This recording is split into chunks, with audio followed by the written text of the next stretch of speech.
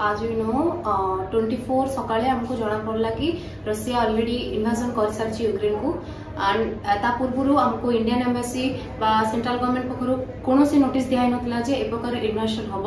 ତ ଏହିପରି ସିଚୁଏସନ୍ରେ ଆମେ ସେଠି ଷ୍ଟକ୍ ହେଇ ରହିଗଲୁ ଆମେ ଆସିପାରିଲୁନୁ ସେଠି ଥିବାମାନେ ଆମର କନସଲଟାନ୍ସି ମାନେ ଆମକୁ ସଜେସନ୍ ଦେଲେ କି ଆମେ ମେଟ୍ରୋ ଷ୍ଟେସନ୍ ବା ଅଣ୍ଡରଗ୍ରାଉଣ୍ଡରେ ନିଜକୁ ସୁରକ୍ଷିତ ଭାବରେ ରଖିପାରିବୁ ତ ଆମେ ସେଠି ରହୁଥିଲୁ ବାକି কন্ডিশন এতে ଖରାପ ହେଇଯାଇଥିଲା ଯେ ଆମର ଖାଇବା ପିଇବା ଏସବୁରେ ବହୁତ ଅସୁବିଧା ହେଉଥିଲା ଯେଉଁଠିକି ସେଣ୍ଟ୍ରାଲ ଗଭର୍ଣ୍ଣମେଣ୍ଟ ଇଣ୍ଡିଆନ୍ ଆମ୍ବାସି ଆମକୁ ଏତେ ହେଲ୍ପ କରିପାରିନଥିଲେ ସେଇଠି ଷ୍ଟେଟ୍ ଗଭର୍ଣ୍ଣମେଣ୍ଟ ମାନ୍ୟବର ଶ୍ରୀଯୁକ୍ତ ସିଏମ୍ ନବୀନ ପଟ୍ଟନାୟକ ଆମକୁ ଖାଇବାର ସବୁ ପ୍ରକାର ସୁବିଧା ଦେଇଥିଲେ ଆଣ୍ଡ ସବୁଠୁ ଇମ୍ପୋର୍ଟାଣ୍ଟ କଥା ଆମକୁ ଟ୍ରାନ୍ସପୋର୍ଟେସନ ଫ୍ରି ଅଫ୍ କଷ୍ଟରେ ୟୁକ୍ରେନ୍ ବର୍ଡର କ୍ରସ୍ କରିକି ପଠେଇଥିଲେ ଆଣ୍ଡ ଆମେ दिल्ली रू भुवनेश्वर को स्पेशल फ़्लाइट रे आज आसिक मदरलैंड पहुँची पार्चु। से बहुत बहुत धन्यवाद मानव श्रीजुक्त नवीन पट्टनायक एंड सी होंगे जन प्रथम सीएम जे कि